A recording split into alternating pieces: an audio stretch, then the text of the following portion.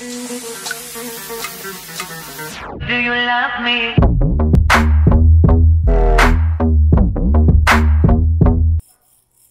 You guys asked for it and now it's here. Today I'm going to be doing a tutorial on how to sharpen the Nevi 4 using Hu-Friedy's diamond sharpening card. You are going to need the diamond sharpening medium grit card, a Nevi 4, and a sturdy flat surface with good lighting. To begin, place a pair of gloves on. Hold the Nevi 4 in your non-dominant hand, the blade to be sharpened held at the bottom with the toe pointed either away from you or toward you. Hold the top of the shank with your thumb and place your elbows in front of you. Place the sharpening card at 3 minutes past 12. Move fluidly in an up and down motion using long strokes and light pressure. The Nevi 4 is perfect for those posterior tight interproximals. It has a harder design for more difficult deposits.